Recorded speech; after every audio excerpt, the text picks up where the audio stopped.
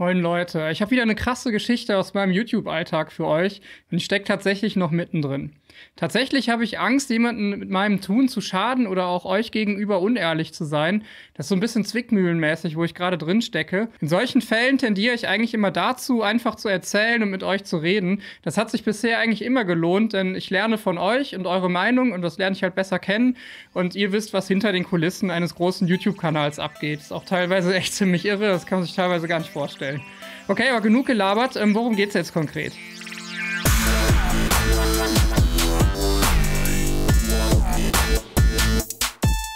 Ich teste ja hin und wieder ein paar Powerstations und normalerweise läuft das auch alles relativ entspannt ab. Und jetzt gab es aber einen Fall, der war ein bisschen krasser und zwar ging es folgendermaßen los.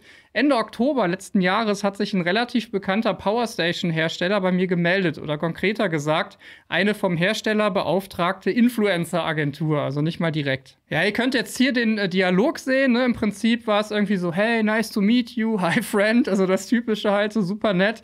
Und ähm, das war dann äh, Rebecca quasi und die wollte halt gerne da irgendwie, dass ich das für den Hersteller präsentiere und zeige, also das Produkt teste halt. Ja, dann haben die mir noch ein paar tolle Zahlen geschickt und gezeigt, wie geil das Produkt ist und so weiter, obwohl die vermutlich nicht mal wissen, was es eigentlich macht. Also ehrlich gesagt, ich habe nicht den Eindruck gehabt, dass die irgendeinen Plan davon haben. Aber okay. Ja, dann kam noch folgende Kleinigkeit. Ähm, ja, da waren ganz viele Dollarzeichen drin, was ich auch wieder echt witzig fand. Ähm, also, we can provide you with Geld war im Prinzip das Ding, ja. Finde ich gut, will ich aber nicht. Und äh, meine Standardantwort ist halt quasi folgende. Ich mache es mal gerade auf Deutsch, damit es für euch einfacher ist. Hallo Rebecca, ich kann die Power Station ähm, testen. Ich wurde sogar von vielen Usern gefragt, ob das möglich wäre. Aber ich werde das Ding als Ingenieur testen und möchte halt kein Geld oder Beteiligung von euch. Das soll halt ein echter Test werden. Wenn das für euch okay ist, dann sehr gerne. In Liebe, euer Andreas. Nee, ganz so nett war ich dann auch nicht. Ja, als Antwort kam dann das folgende. Alles klar, aber drei Punkte. Das erste war, das Video soll irgendwie zu Datum XY online sein. Das zweite war, wir möchten das Video vorher sehen und dann entscheiden, ob es gesendet wird oder nicht. Das fand ich schon krass. Aber das ist tatsächlich gängig, also das ist nicht ungewöhnlich. Und als drittes, mach bitte unseren Tracking-Link in die Beschreibung. Das heißt irgendwie, da ist auch ein bisschen Datenkrake dahinter, was ich halt auch nicht so geil finde.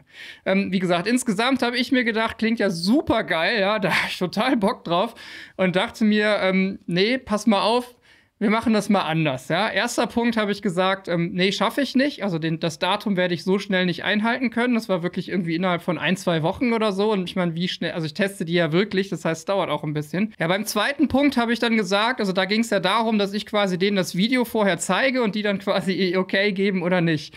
Und ähm, das fand ich tatsächlich überhaupt nicht gut. Da habe ich geschrieben, wenn das Video fertig ist, dann wird es halt gesendet. Punkt. Und ähm, ich habe ja Kosten für jedes Video und ich muss das auch senden, ja. Sonst habe ich halt tatsächlich Minus irgendwie. Das kann ich nicht bringen. Und auch die Sendetermine sind relativ fix und so weiter. Das ist echt ein Problem mittlerweile. Ja, aber wenn ich problematische Messungen finde, informiere ich euch. Punkt. Aber mehr auch nicht. Und drittens ähm, habe ich ganz klar gesagt, nein, Tracking-Links kommen ja auf gar keinen Fall irgendwie in die Beschreibung, das mache ich nicht. Ähm, ja, dann dachte ich, okay, ich nutze die Gelegenheit und frage direkt mal nach dem Akkutypen oder dem Hersteller. Das interessiert mich natürlich besonders, weil, ähm, keine Ahnung, ist halt immer wichtig. Und ähm, Rebecca hatte offensichtlich überhaupt keine Ahnung, wovon ich sprach, denn als Antwort kam dann sowas wie RHOAS oder CE. Und ich dachte mir, okay, ich glaube, das sparen wir uns. Ist ja aber nicht schlimm. Also, wie gesagt, finde ich ja im Notfall auch selber heraus, wenn ich dann das Ding aufschraube. Ja, Rebecca hat sich dann verabschiedet und ich sprach ab dann ähm, mit, ähm, ich nenne ihn jetzt mal Hooper. Und daraufhin wurde das Gerät dann sofort losgeschickt und quasi war direkt vor meiner Tür. Also ist echt total krass. Als Influencer bekommst du den geilsten Versand ever. Ist echt sofort da, der Scheiß. Ist der Hammer.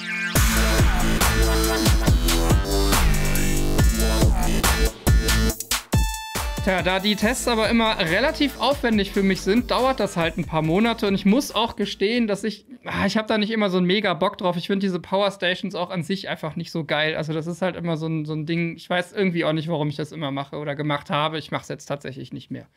Aber okay, kein Problem, denn war ja total nett und erinnert mich praktisch alle zwei Tage daran, ähm, dass er über Wochen so nach dem Motto, wo ist mein Video, Alter? Ja, schöne Kniescheiben und so. Na gut, so schlimm war es jetzt nicht, aber sagen wir mal so, er war schon sehr, sehr nervig. Ja, ist jetzt auch kein Drama, aber also keine Ahnung, wenn du da alle zwei Tage immer diese nervigen E-Mails kriegst, geht es einem auch ein bisschen auf den Senkel. Ja, so in etwa könnt ihr euch das dann vorstellen, glaube ich. Okay, aber da mir das komplett scheißegal ist, habe ich den Test dann im Februar erst fertiggestellt. Also es hat halt eine Weile gedauert. Ich mache es auch absichtlich, damit ich halt sehen kann, ob die Akkus sich zum Beispiel selber entladen oder ob auch über eine lange, längere Zeit irgendetwas passiert, was da nicht passieren sollte. Tja, was soll ich sagen? Ähm, Houston, we have a problem. Das Ding ist scheiße.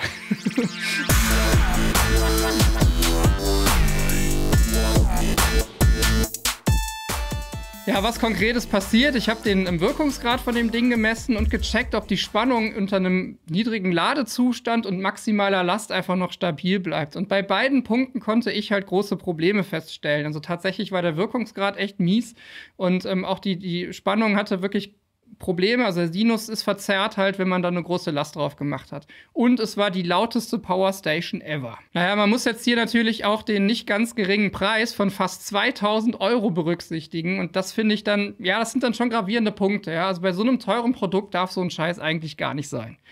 Für mich war der Test an der Stelle dann auch wirklich beendet. Also ich habe es nicht mal mehr aufgeschraubt, weil ich mir halt gedacht habe, okay, ich kann zu diesem Gerät einfach guten Gewissens nicht raten. Das mache ich nicht.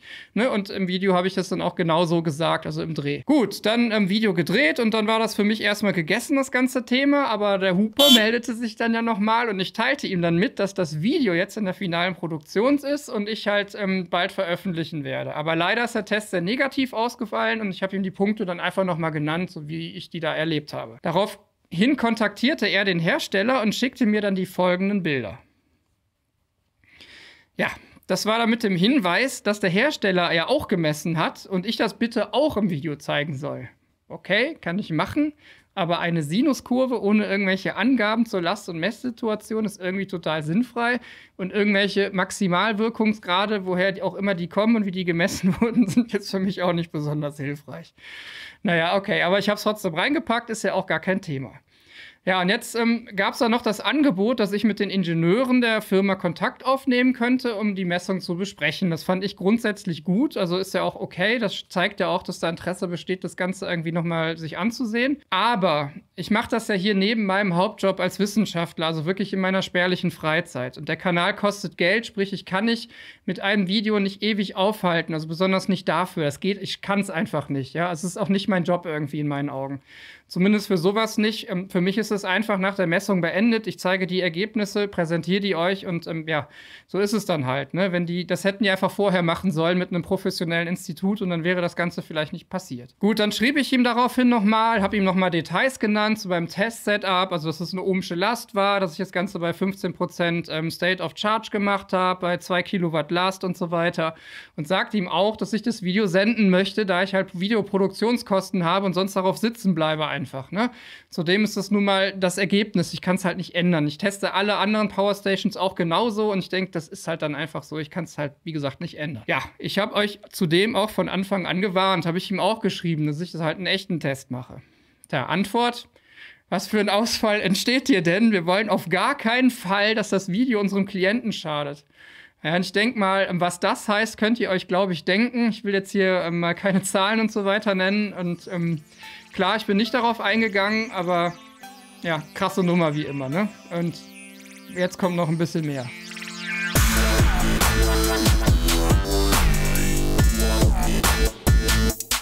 Also ich möchte euch jetzt erstmal erklären, was sagt das eigentlich alles jetzt und warum kritisiere ich das so stark, ja?